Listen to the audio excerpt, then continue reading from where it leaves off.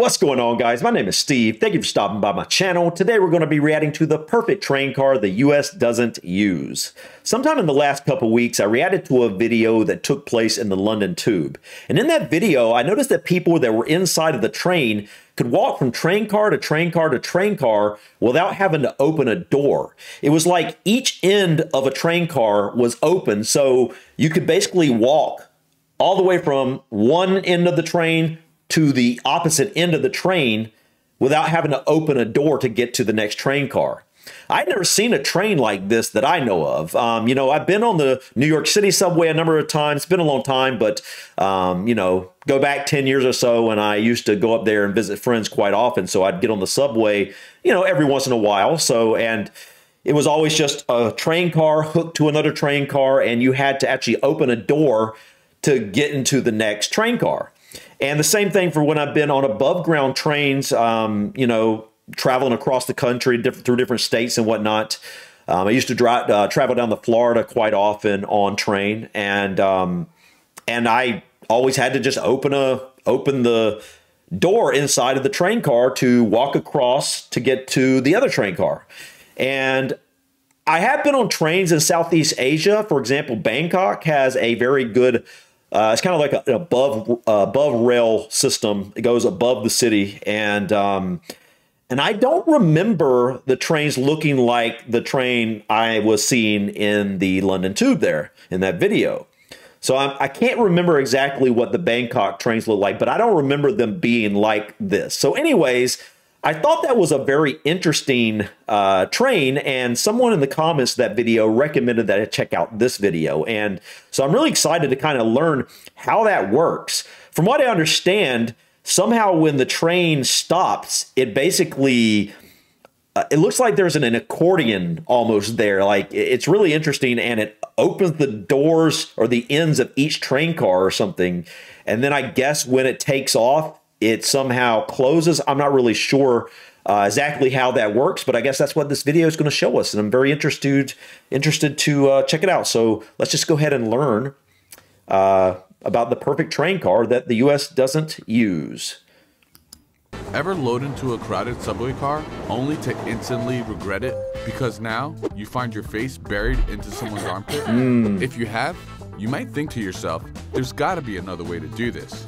And it turns out there is. There's a design that's been proven to solve overcrowding, but we kind of ignore it. Passenger trains have come a long way. They first got their start with miners hitching rides in coal cars on their way to work. But the first passenger rail carriages were introduced in the early 1800s, and they were very uncomfortable, impractical, no, I bet. sometimes even dangerous. Passengers rode both inside the coach and on benches mounted onto the top of the coach.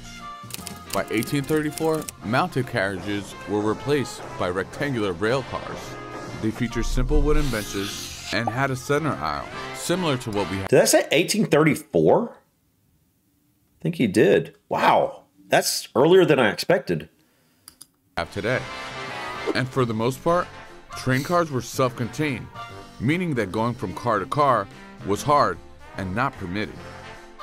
Look at cities like Chicago, New York, and Boston, and you'll find commuters jam packed into train cars. Some commuter or long distance rail cars are wider and less crowded, but subways are constricted by their tunnels and are often narrow.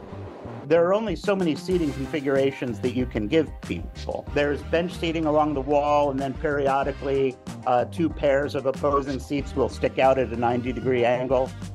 But the most efficient arrangement, and which is what they've gone back to today uniformly, is bench seating along either wall. And you had that from the very beginning. Essentially, train cars haven't changed much in over 100 years, even though this exists. Yeah, this definitely looks. Wait, oh, here it is. Yeah, that's exactly what I was seeing here. That's such much. That's so much better, man. Because if you know, there's always going to be the train cars that more people are getting on, and then there's going to be train cars that less people are getting on. And if you have the ability to walk through, you can go and find one of the cars that are less crowded. Just is so ingenious. um, why don't they have this in America? but yeah, this right here, the the bench seating on the sides is so much better because then at least instead of the coming out this way, this it gives so much more room here for people to stand and hold on to a bar. This is an open gangway car. Open gangway. Gangways are narrow walkways or platforms that provide access between two points. Yeah, this is exactly what I'm used to seeing when I rode on a train. Uh, you know, if you like, I rode on the Amtrak a number of times to Florida and whatnot, and uh, you know, if you want to go on a different train, you just open the door and you you're kind of outside and you walk across this little ledge or this little whatever this is right here. Hmm. In this case, two train cars. Have you ever seen an articulated bus? No. You know that black accordion section in the middle? That's what we're talking about. Well, actually, I think I have seen this, but yeah, I think I have seen it, but not in person. I don't think I've ever. Have I? To be honest, like I haven't lived in areas that have that good of public transportation. Um, I don't even think we have like public buses or anything around here. I don't think we have any, and we don't really have any like public transportation at all. You can get Uber or something, but like that's not really public transportation. But um, what I wonder what the reason for this would be on a bus because I guess it just makes an extremely long bus. I, I don't know.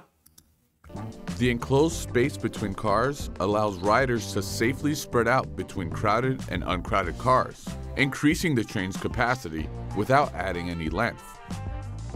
Replacing the unused space of traditional train cars with open gangway cars can represent up to a 14% reduction in crowding, which is what makes open gangways so appealing.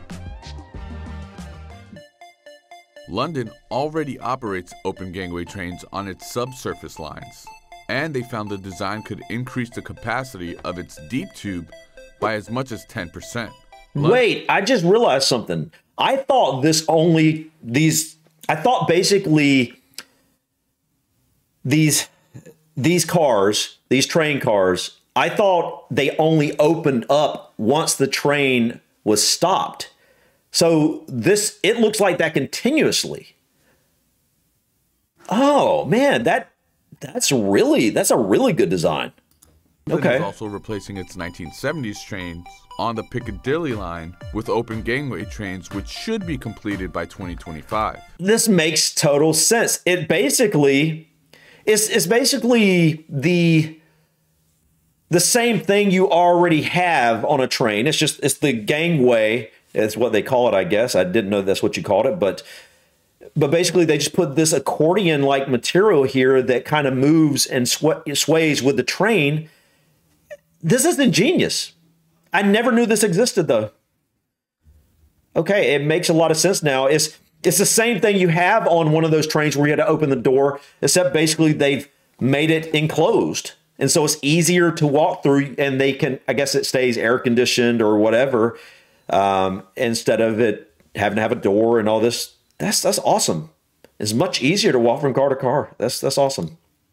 New York City is adding open gangway cars, even if it's at a snail's pace. In 2018, the MTA approved the purchase of 535 R211 train cars from Kawasaki, 535. including 20 Wow. trains featuring the open gangway design. And it's good timing.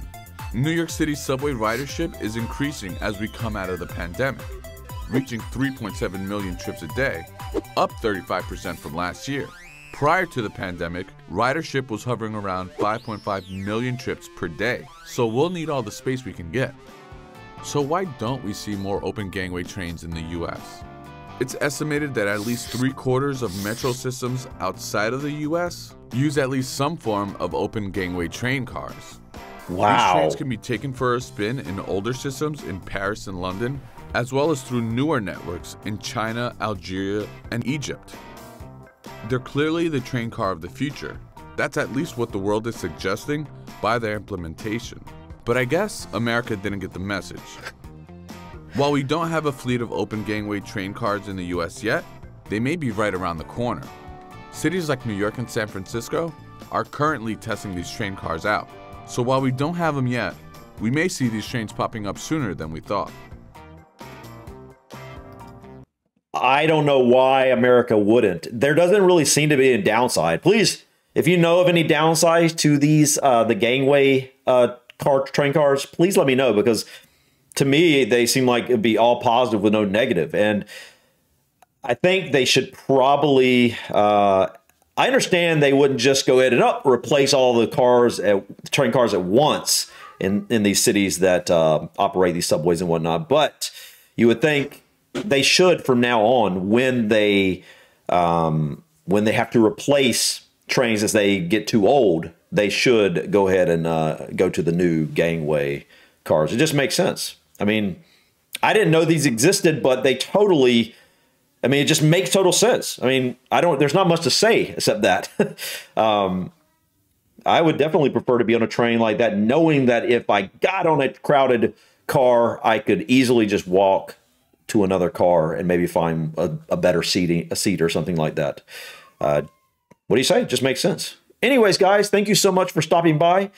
Please click that like button. Feel free to drop your comments or suggestions about this video or others. And don't forget to subscribe to continue to follow me on my journey to discover my British and Irish ancestry. Until next time, guys, peace.